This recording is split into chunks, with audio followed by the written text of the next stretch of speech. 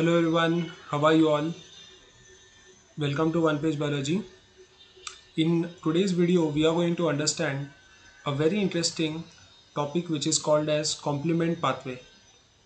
Now, basically, this particular topic is uh, important because most often from this particular topic, questions are asked in CSIR NET Life Science examination, even in the state level set exams. Uh, the questions are based on this particular topic.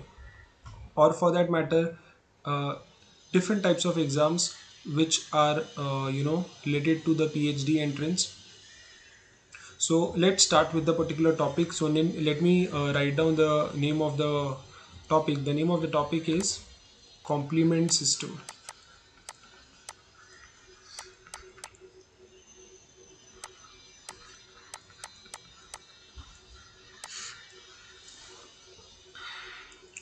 In today's video, we are going to talk about one of the types of complement system. So essentially there are three types of complement system which you need to know.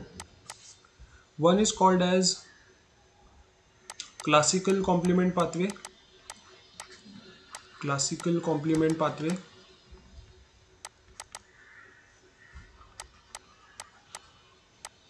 The other is called as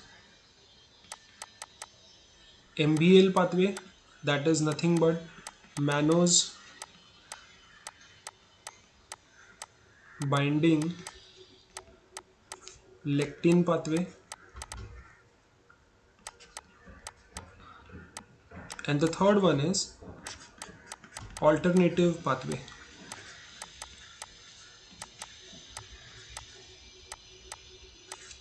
So those who are watching this video make sure you also simultaneously note down because this is important and uh, you can refer to this particular notes later.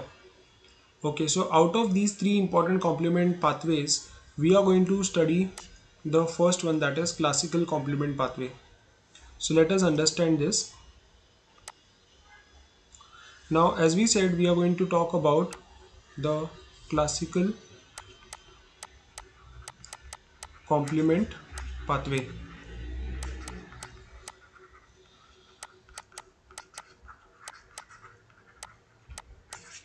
Now I am going to explain you step by step what exactly is the classical complement pathway. Now first of all what is a complement pathway? Now everyone you have to understand that when we talk about the immune system our immune system acts in a specific way. So complement pathway acts with the help of certain proteins. Now these proteins when they are bound to sometimes the membrane receptors or even if they are bound to the antigen antibody complexes which are present on particular cell then such complexes when they get bound to the complement proteins that will lead to the lysis of that particular cell or we can also call it as the phagocytosis of that particular cell. So in other words complement pathway means there are certain special proteins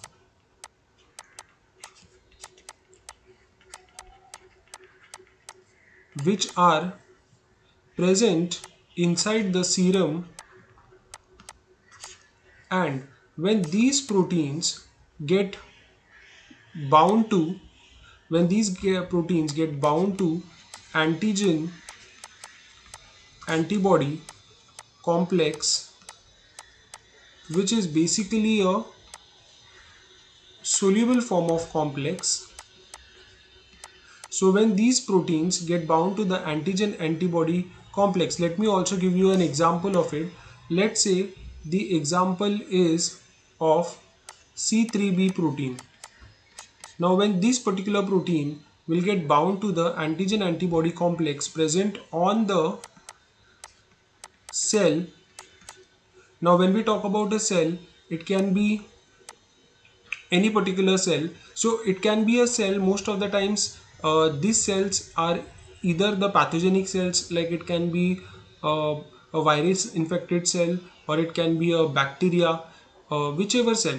So these cells when they expose these harmful antigens and when the antibodies actually bind to these particular antigens which are exposed by these cells then a complex is formed which is called as a soluble antigen antibody complex and these uh, complexes attract certain special proteins uh, which are present inside the serum. And these proteins come and attach to the antigen antibody complex. So what is the result of this? I mean to say when these special proteins when actually bind to the antigen antibody complexes present on the cell they will ultimately lead to a formation of something called as a membrane attack complex. A membrane attack complex means it will create pores in the cell as a result of which the cell will undergo hydrolysis that means it will undergo breakdown so ultimately the cell is going to get completely broken down. So whenever the a complement protein gets bind to the antigen antibody complex present on the uh, pathogen infected cell then such a cell is ultimately going to get killed or it is going to be completely broken down.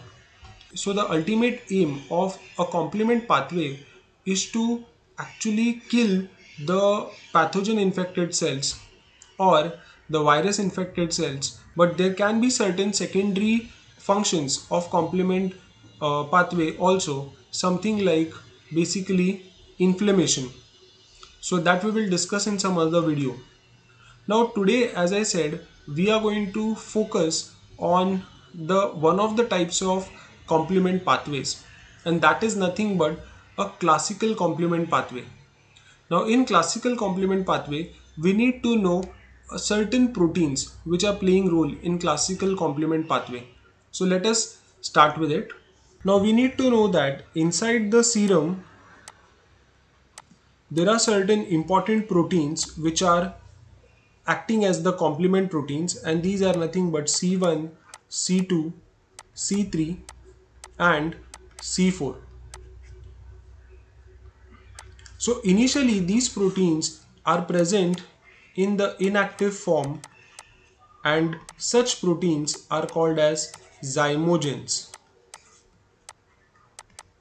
So these are some inactive proteins. Now out of this one of the complement proteins that is the C1 complement protein. Now the C1 complement protein exists in the form of a complex and this complex is a macromolecular complex which is nothing but C1, Q, R2 and S2. So this is the complex which is basically important and this is a, complex it's a macromolecular complex. So in this particular complex out of this complex the C1 component must bind to the antigen antibody complex which is present on the membrane of the membrane of the cell. So C1 protein must bind to the antigen antibody complex. So when we talk about antigen antibody complexes, there are two major antibodies which are involved in the complement system. One is basically the IgM antibody and the second is IgG antibody. Now what you need to know is the IgM antibody is initially present in the pentamer form. It is a pentamer form and basically it is present in the planar form. So because it is present in the planar form, the there is no actually binding sites available for the complement proteins. But as soon as it binds to the particular antigen, that means whenever this IgM antibody binds to different types of antigens, then in that case, it will convert from a planar form and it will become staple form.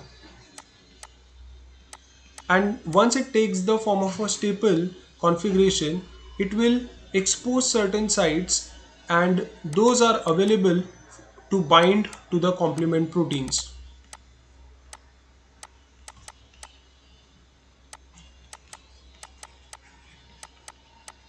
But whereas if you talk about IgG antibody, IgG antibody is always in the dimer form and it has only a single binding site for complement protein. So in this video tutorial, we have understood the part 1 of classical complement pathway. In the next video, we will see the second part of classical complement pathway. If you have understood this much, please like and share the video. See you all in the next video. Thank you so much.